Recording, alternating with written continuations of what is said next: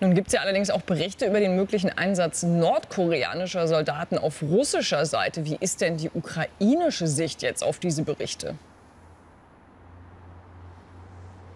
Die ukrainische Nachrichtenagentur Unian hat das mit sehr äh, markigen Worten zusammengefasst mit einem Begriff. Sie sprechen von nordkoreanischen Kampfsklaven, die da eingesetzt werden sollen auf russischer Seite. Die Rede ist da von 10.000 bis 12.000 Mann, die Diktator Kim ähm, an die Front schicken will. Das sind alles noch Gerüchte, Beweise gibt es dafür nicht.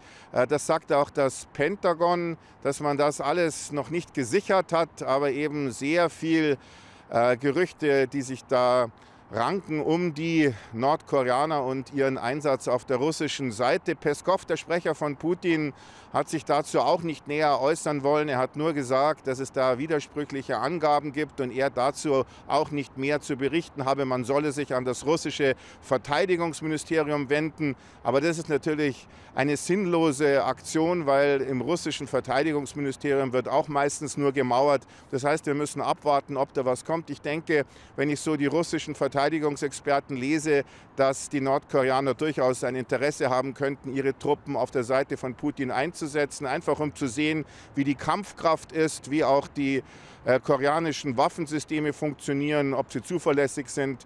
Ja, Nordkorea hat ja seit dem Ende des Koreakrieges 1953 eigentlich keinen Kampfeinsatz mehr gehabt und deswegen dürfte Kim durchaus äh, gucken, wie es um seine Truppen bestellt ist. Dazu könnten die Koreaner, die Nordkoreaner Geld von Russland bekommen, Satellitentechnik, also durchaus interessant, wie ich denke, für Kim.